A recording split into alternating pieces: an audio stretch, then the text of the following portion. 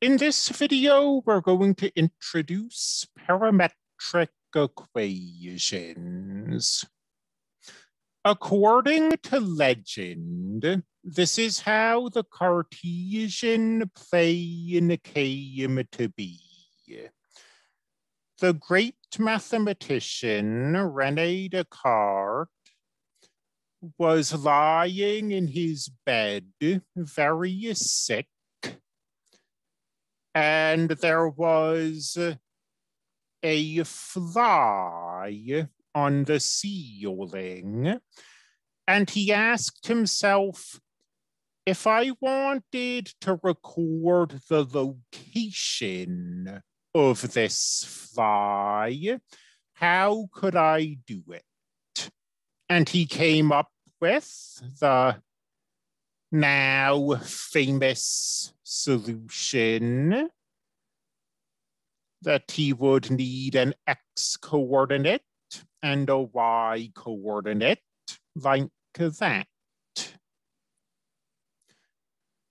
Let's consider the same situation Except that now suppose the fly is crawling around the ceiling. It starts here and it crawls over there. And we have two pieces of information we want to record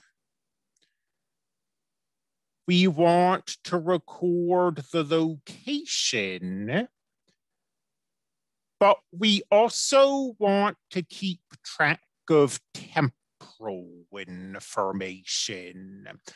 When is the fly here? When is the fly there?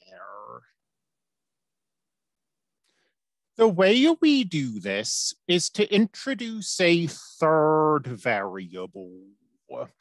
We call it t because it usually represents time. And as our fly crawls along the ceiling, its and its y coordinate change with time.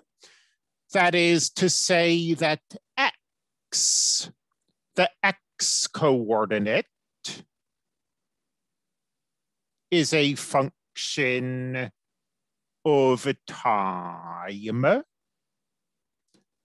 and y, the y coordinate, is also a function of time. In this situation, we say that this is a parametric equation. And the word parametric comes from parameter. T is the parameter. And the curve we get from a parametric equation is called a parametric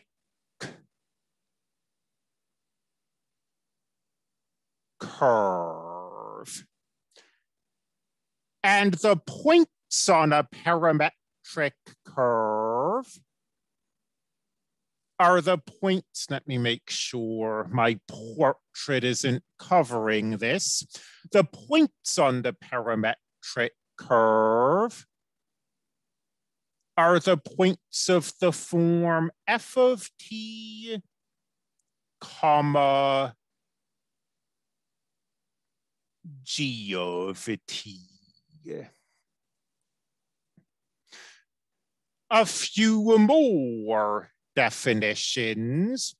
You'll notice that this parametric curve has a beginning point and an end point. For example, the thigh could land on the ceiling here, crawl around for a bit, and then take off again. So we normally think of this time parameter as being in a closed interval. And this represents a start, and this represents a finish.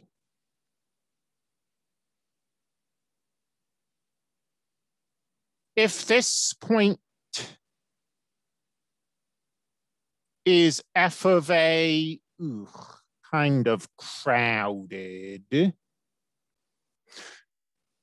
the point f of a comma g of a is called the initial point. The point f of b, g of b is called the terminal point. And this interval here, the interval from A to B, is called the parameter interval. Those then are kind of the elementary non-calculus definitions related to parametric equations.